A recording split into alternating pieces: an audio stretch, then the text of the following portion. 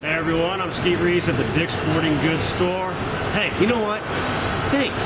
Thanks for signing up for Team Trokar because you are in the coolest, latest, greatest place to get information. So you're going to get all the cool discounts. You get in the inside scoop on new product coming out. You hear some goofy little stuff coming from me and the rest of the team. It actually might help you catch a few more fish. So uh, right now, I want to give you a little heads up.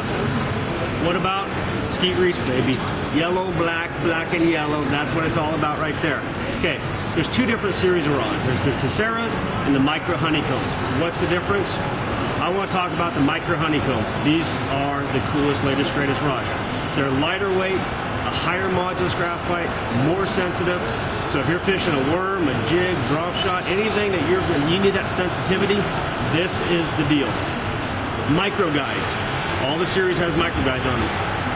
Don't know why, but they actually cast further than your conventional guides. So you're getting a better cast, more distance, and it makes the rod lighter and more responsive. And it's amazing how it changes the feel of the rod. So that's the difference from a, a micro honeycomb versus Tesseras or most of the other rods in the industry.